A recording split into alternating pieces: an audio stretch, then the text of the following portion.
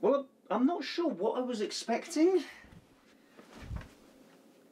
But it certainly wasn't that. Recently, I invested £100 in the stock market with absolutely no prior experience, no knowledge, and with only minimal research along the lines of what is a stock. My primary goal was to see how much money I could make as a complete amateur from just this very small investment capital and document, you know, my progress, my, my journey of learning with you guys as well. So you could hopefully, you know, maybe learn something about it, maybe maybe it would inspire you to give it a go, but also so that you could be aware of the dangers within you know, what is basically gambling. Maybe you'd even get a few laughs at my expense. If you haven't seen the previous episodes in this series, I do strongly urge you to watch them, whether you're a seasoned finance pro or a complete investment virgin.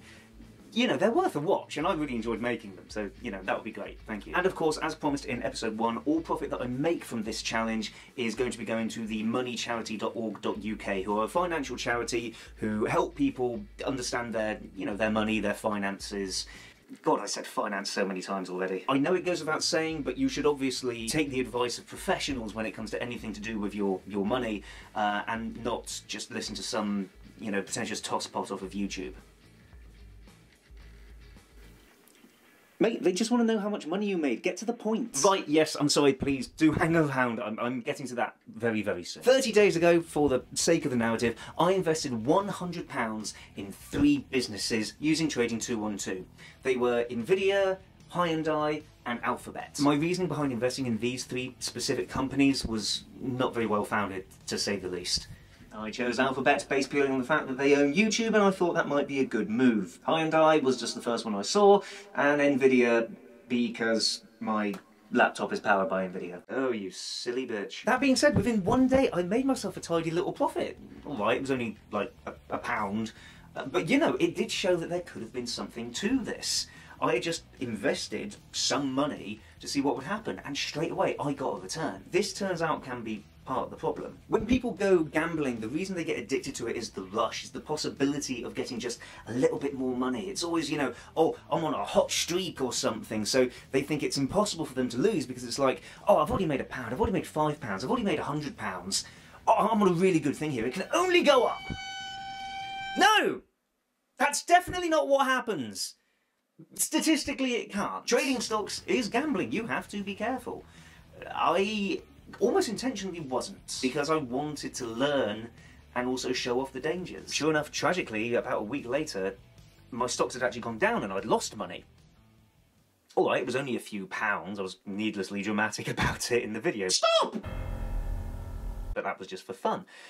Had I invested a larger sum of money, though, I could have made a substantial loss. It's worth noting that in my research for this series, a lot of the advice on YouTube was saying about investing a thousand pounds or ten thousand pounds or even more than that. And that could have been seriously detrimental to me. I could have lost hundreds or maybe thousands of pounds as a result of that. As time went by, the stock values just kept on going down and down. I think at one point I lost like six or seven percent or something. It was quite extreme. It did bob back up a couple of times into the green if I remember rightly, but you know, not for long and you know, definitely not enough to, you know, allay any fears at this point. Once again, I did not do this with a lot of information behind me. I am planning to do more episodes of this series because I want to learn more, and I, I learn really well by teaching.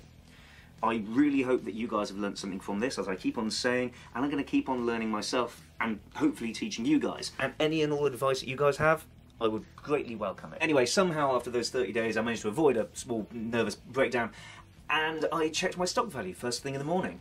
And sure enough, there they sat at a wonderful, a whopping. yeah, I lost money on the stock market. But don't click away yet, this wasn't a failure. This series has done exactly what I wanted to do, and I have learnt. Since then, I have actually done a bit more research, and I have changed my portfolio slightly, and I'm now, as of recording this video, looking at a profit of... Oh, it's gone down. Um, it's a profit of um, just over four pounds, actually, uh, which is quite disappointing because yesterday it was a profit of eight pounds when I checked. Once again, that just goes to show, really. Despite making that loss after the 30 days, um, I'm still going to be making a donation to the Money Charity. Uh, I know that since then I've technically made as much as £8, but I'm going to be donating 20 quid uh, just because I, I, I, want to do something. If you want to donate as well yourselves, the link's going to be in the description down below. I'm not affiliated with them, just need to clear that up. I just think it's important. Sometimes taking a risk can pay off, but that doesn't mean that it will. There is still a risk, that is the point. You should never, ever, ever undertake something in which you will lose more than you can afford to lose. If you take anything away from this series, at least please take that. Oh, wait, that reminds me. I've, I've just got to check on something a minute. Let's see if the mattress has done any better than the stock market. What the...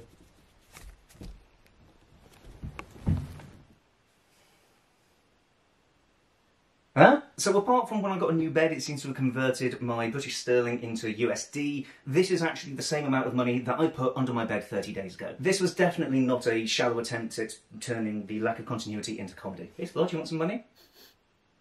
I hope you enjoyed the uh, climactic finale of this incredibly poorly executed joke.